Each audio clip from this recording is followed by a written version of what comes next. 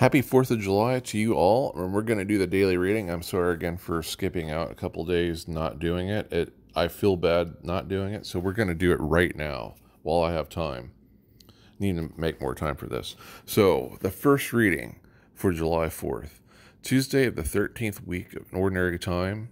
First reading Genesis 1915 through 29. As dawn was breaking, the angels urged a Lot on saying, On your way. Take with your, sorry, hold on a second. Take with you your wife and your two daughters who are here, or you will be swept away in the punishment of Sodom. When he hesitated, the men, by the Lord's mercy, seized his hand and the hands of his wife and his two daughters, and led them to safety outside the city. As soon as they had been brought outside, he was told, Flee for your life. Do not look back or stop anywhere or the pain on the plane. Sorry, I'm I'm kind of messing this up. I don't know why.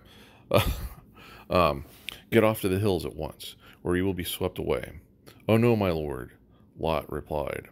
You have already taught enough of your servants to do me the greatest kindness of intervening to save my life. But I cannot flee to the hills to keep the disaster from overtaking me, and so I shall die. Look, this town ahead is near enough to escape to. It's only a small place. Let me flee there. It's a small place, is it not? That my life may be saved. Well, then, he replied, I will also grant you the favor you now ask. I will not overthrow the town you speak of. Hurry, escape there. I cannot do anything until you arrive there. This is why the town is called Zoar. The sun was just rising above the earth as Lot arrived to Zoar. At the same time, the Lord rained down um, sulphurous fire upon Sodom and Gomorrah, for the Lord out of heaven, from the Lord out of heaven. He overthrew those cities and the whole plain, together with the inhabitants of the cities and the produce of the soil. But Lot's wife looked back, and she was turned into a pillar of salt. Early the next morning, Abraham went to the place where he had stood in the Lord's presence as he looked down toward Sodom and Gomorrah and the whole region of the plain, he saw dense smoke over the land rising like fumes from a furnace. Thus it came to pass, when God destroyed the cities of the plain, he was mindful of Abraham by mind, sending Lot away from the upheaval, by which God overthrew the cities where Lot had been living.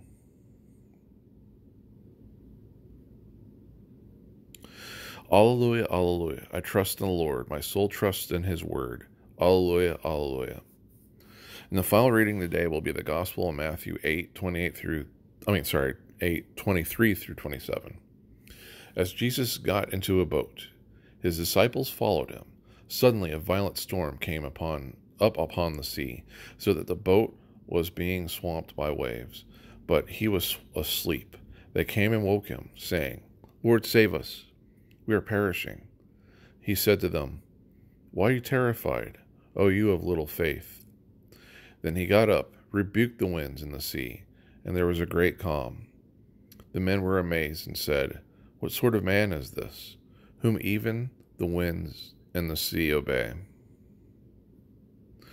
And I can answer that.